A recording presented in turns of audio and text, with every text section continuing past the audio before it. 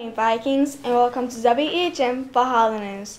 I'm Chloe, and today is Friday, January 6, 2023. Please stop what you're doing and stand for a moment of silent reflection. If you're still in the hallways, please stop where you are.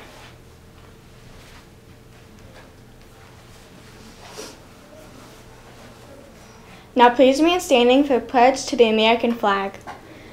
I pledge allegiance to the flag of the United States of America and to the republic for which it stands, one nation, under God, indivisible, with liberty and justice for all.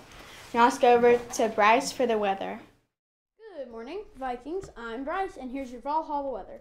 Today, expect a high of 56 and a low of 37 with partly cloudy skies. Today's quote is from Charmaine Ford. January is the first month of the year, and it's the perfect time to start all over again. Happy birthday today to Jeffrey Pinado Canales and Lizbeth Perez Rivera. Happy birthday over the weekend to Chasen Carter, Fernando Elias Laguna, and Juan Elias Laguna, and Arkins Lloyd. Happy birthday, Vikings. Attention, Vikings, for some soccer information.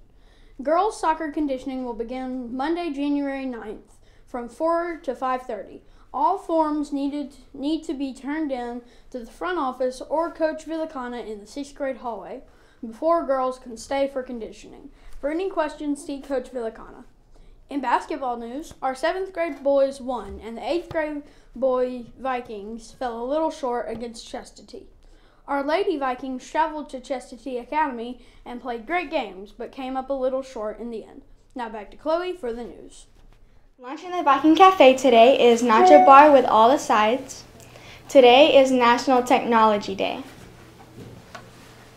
Cell phone earbuds we put away by 8.25 each day.